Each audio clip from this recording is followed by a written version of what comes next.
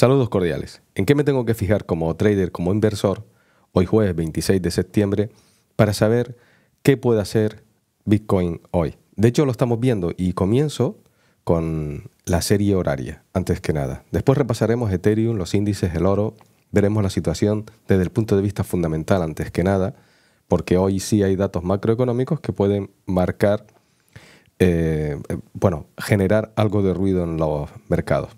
Pero está funcionando muy bien la proyección que tenemos en Bitcoin. De hecho, por eso he querido comenzar en la serie horaria como introducción, porque aquí a la izquierda tenemos el spot y sigo manteniendo los futuros CME antes que nada en, el, en esos primer vistazo, en esos primeros 15 segundos, en donde rápidamente tenemos un concepto de la situación que está pasando.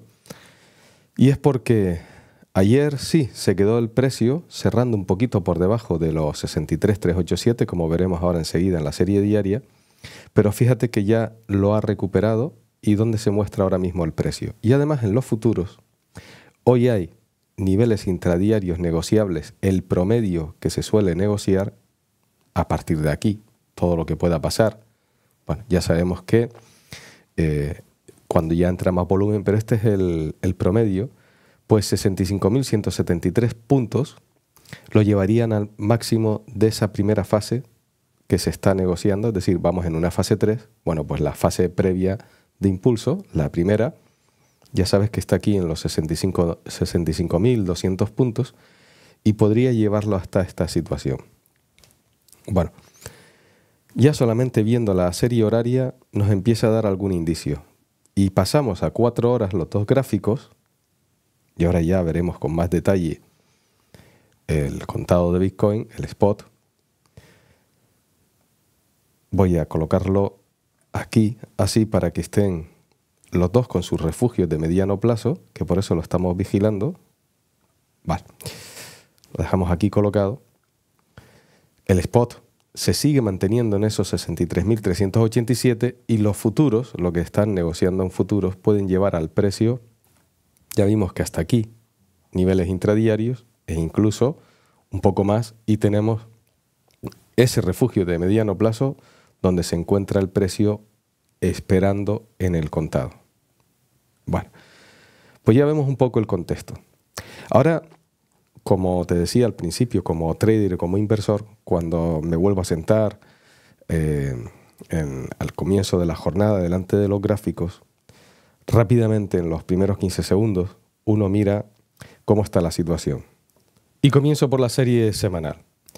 Estaba viendo una noticia que dice que el oro y Bitcoin se está correlacionando mucho, que ahora mismo hay una fuerte correlación y que eso significa pues que van a subir. Bueno, curiosa noticia. ¿Qué ha pasado en la serie semanal? Rápidamente uno lo mira y dice, seguimos igual con esas expectativas, intentando romper los máximos decrecientes que viene de unirlos en la serie diaria, después del rebote que se ha tenido desde hace dos semanas en la zona de precio razonable de los 56.750, pero sobre todo del que hubo en los 51.585. Vamos a ver si hoy explico porque ayer quedaron dudas y en algunos comentarios me preguntaban, pero Esteban, ¿qué, eh, lo de la fase 2 y 3, que si se anula, vi que habían dudas, pero solo fueron un par de comentarios, por lo tanto los demás lo entendieron. Pero lo voy a repasar rápidamente. Esta es la pauta que está siguiendo el mercado con el precio de Bitcoin en la serie semanal. Hasta 2000, desde 2020 a 2021 el precio subió hasta los 69.000. Bien, después de ahí corrigió, estuvo corrigiendo hasta finales de 2022 y a partir de ahí lleva experimentando esta subida. Bien, esta es la pauta del mercado, no es un dibujo, no, no tenemos que estar mirando cosas eh, muy técnicas de forma gráfica. No nos empeñemos en eso, solo estamos viendo el movimiento del precio, la acción del precio desde un año hasta el otro, cómo corrige el siguiente, que corrige más de un 50% y que ahora está, una vez ha llegado al 71.509, por encima del máximo de noviembre, ha corregido, pero no ha corregido demasiado, no ha corregido la mitad. Y mientras no corrija la mitad de esta subida, seguimos observando de que es una fase número 3. Eso es, en la acción del precio, esto es indudable. Esto es una primera fase, esto es una segunda y va en una tercera. Si el precio ya no corrige más allá de donde lo ha hecho, que es el 61.80, fácil. Los inversores y los traders que vemos esto, que seguimos la acción del precio y medimos las correcciones, sabemos que esto se quedaría en un momento de mercado en caso de que siga subiendo momento de mercado. No es una fase, todo sigue siendo una fase 3 con tres momentos. Hay un momento correctivo y eso puede pasar en cualquier, en cualquier fase. ¿Vale? Ahora, si esto profundizara mucho más, entonces ya no. Entonces estamos hablando de que esto no es un momento de mercado, esto es una fase, esto sería otra, y tendría que iniciarse después, posteriormente, una tercera. Y eso significaría que entonces yo me olvidaría, porque ya ha ocurrido eso, me olvidaría del resto. Deja de tener esa validez porque la corrección de todo lo que estábamos midiendo es mayor de lo que hace una pauta de mercado. No hay más. Esta es la situación.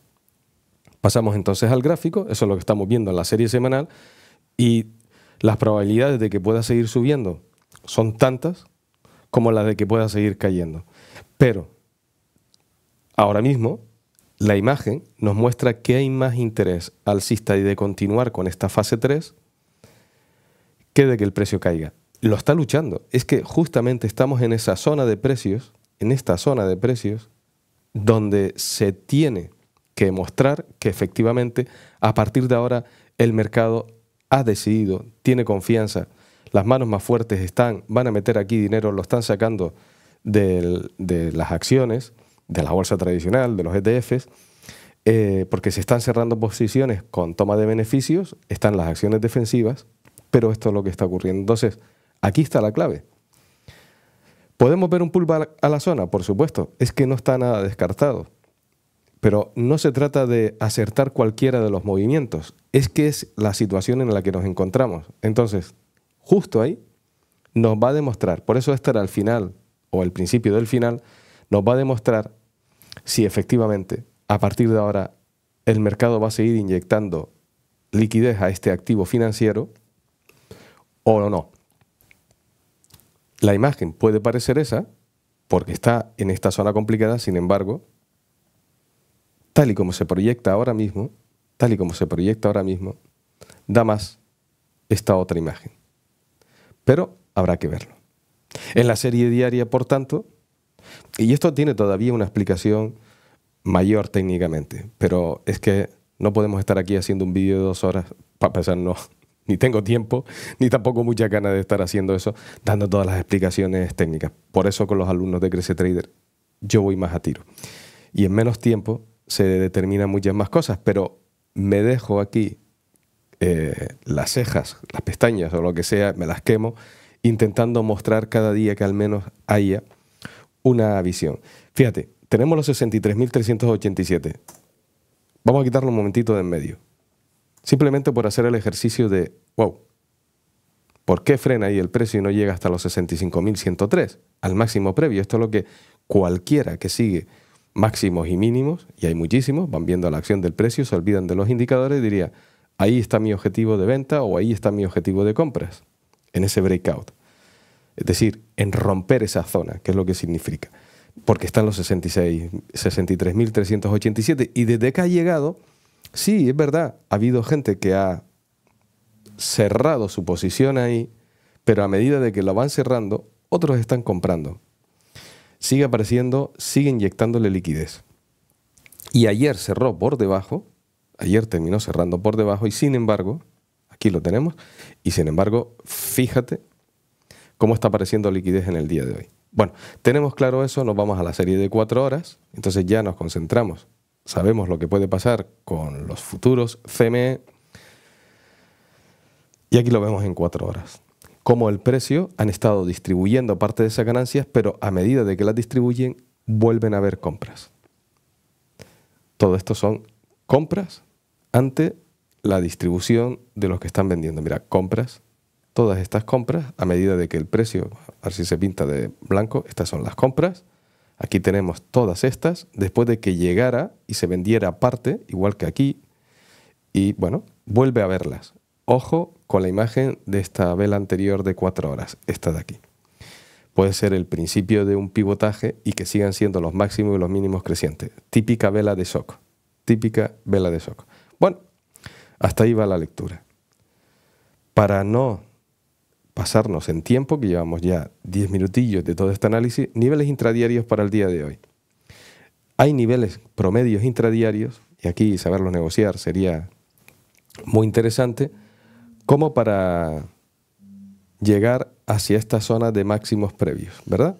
64.383 es el último. Empezamos el eje central de operaciones en 63.121. El precio visitó los 62.880. Nos vamos a centrar un momentito en este pasamos a 5 minutos y aquí vemos cómo el precio, en cuanto lo cruza, dejan.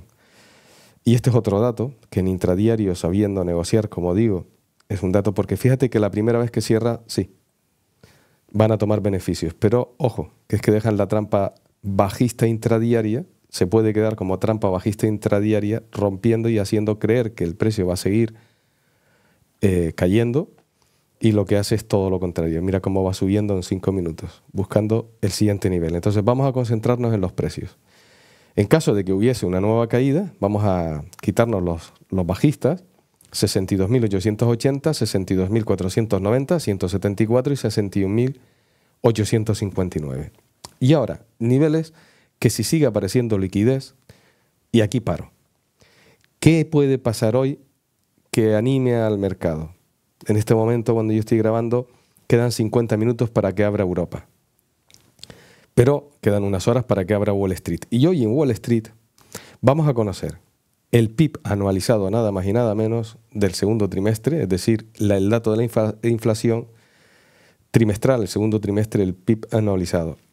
Dato fundamental para la Reserva Federal y por tanto que está en el ojo del huracán de los traders y de los inversores. Posteriormente, bueno, y el PCE, etcétera. Vale. Después vamos a conocer los pedidos de bienes duraderos. Y además las solicitudes de beneficio de desempleo. Todos importantes para la Reserva Federal. Pero es que además, un poco más tarde, antes de que abra, todo esto es una hora antes de que abra Wall Street. En Madrid vendrá siendo las 15 de la tarde, 14 Canarias y Londres. 8, 9 eh, de la mañana, eh, 8 y media de la mañana en Nueva York. Bien, pero antes de que abra Wall Street, 10 minutitos antes, va a hablar el señor Power. Aquí tenemos ese, ese discurso y va a ser posteriormente a estos datos. Así que cuidado con lo que se puede venir con esas palabras habiendo conocidos, pedidos, el PIB anualizado y la solicitud de beneficios de desempleo semanales. Luego, ya sabemos que hay noticias macroeconómicas como para generar ruido suficiente para alcanzar 63.752, 64.068, 64.383 e incluso llegar hasta los 65.103. A partir de aquí la volatilidad se puede exagerar, pero claro, y si sientan mal las palabras del señor Powell, sabemos los niveles, por la parte de abajo sabemos cuál es la situación en Bitcoin. Vamos a ver, seguimos en esa fase 3 siguen siendo en cuatro horas máximos y mínimos crecientes que se han aplanado justamente por este objetivo, donde pueda aparecer esa liquidez, pero cuidado por si sientan mal las palabras. Y es que antes de pasar a Ethereum, quiero que veas cómo sigue el SP500 afianzado, ¿verdad? En, vamos a quitar esto de aquí, en los 5.782, es decir, ayer después de haber cerrado por encima, se tomaron beneficios, pero fíjate, un cierre como pasa en Bitcoin, por debajo, lo mismo que en Bitcoin, mira hoy, es que solo es sesión asiática que está cerrando a esta hora y pre-europea. Y el precio ha subido una barbaridad. Vamos a verlo en niveles intradiarios. Fíjate la cantidad de horas que lleva el precio subiendo desde que cerró aquí en los 5.782. Brutal. Sigue haciendo máximos históricos. No para de subir la bolsa. No hay subidas tan fuertes desde un mínimo en una única fase. Las hay, pero son muy pocos los casos. El día de hoy, si lo medimos, estaríamos hablando ya de más de un medio por ciento sin haber llegado a la sesión de Wall Street. Vamos a ver qué pasa con el señor Powell. En cuanto a las tecnológicas, fíjate que no. Fíjate que no está ocurriendo eso. Mira cómo está el día. Atrapador total. ¿Vale? En el SP500 sí, en las tecnológicas no. Se ha anunciado que OpenAI pasa de ser una fundación eh, sin ánimo de lucro, ¿verdad?, a ser una compañía que quiere ganar dinero. Eh, la última persona, una señora, eh, que estaba desde el principio, ha abandonado el barco en el día de hoy, dice que se va a buscar otras opciones, otras perspectivas de negocio. Cuidado que dejó de ser, ahora va a por rentabilidad. Inteligencia artificial va, una compañía de este tipo va por rentabilidad. Donde está Microsoft, donde está Apple. Cuidado con, con eso, ¿no? Y Ethereum sigue, después de la toma de beneficios fuerte que hubo ayer por llegar al segundo objetivo, mira lo que han ganado los que van siguiendo la acción del precio. Lo podemos ver en cuatro horas, porque esta sabes que es de cuatro horas, fase 1, fase 2, va en una fase 3, se toman beneficios, pero fuerte porque todavía esperan encontrar los 2.779. Y es que mientras tu activo principal, que por ejemplo es Bitcoin, en otros, aunque también está pasando en Bitcoin, pero te has dado cuenta que siempre Ethereum va completando las fases y los objetivos, mientras que en Bitcoin vamos mucho más lento. Llevamos así todos este, estos últimos tres meses, todo el verano, fase 1, 2 y 3. Zona de entrada que hablamos por aquí, no como señal, sino diciendo ahí se le está dando señal a muchos y vamos siguiendo la acción del precio desde el punto de vista formativo va en una fase 3. Esto todavía no es una fase 4. ¿Por qué? Volvemos a lo mismo que pasa en la serie semanal de Bitcoin. Si esta es toda la fase, al menos tendría que retroceder hasta la mitad para que dijéramos que ha cambiado. Sin embargo, no lo hace. ¿Vale? Sigue estando los 2.779. Y ya para acabar todo, entonces, niveles intradiarios para la jornada de hoy en Ethereum 2.580 el eje central de operaciones, el precio de apertura de la semana visitó el primero 2.567, 2.554, 2.528, pero miramos por arriba, 2000, que es hacia donde hoy da esa perspectiva, 2.593, 2.606, 2.632. Lo llevaría entonces a superar nuevamente ese segundo objetivo de la serie diaria.